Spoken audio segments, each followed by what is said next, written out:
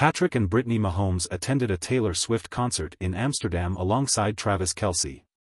The trio enjoyed the event, sharing moments of excitement and fun on social media. Patrick Mahomes, known for his football career, and his wife Brittany joined Kelce for a memorable evening at the concert. Fans appreciated seeing the group's camaraderie and shared enthusiasm for Swift's music. The outing highlighted their friendship and mutual enjoyment of live music events. Photos and videos from the concert captured their lively experience, showcasing their admiration for Swift's performance.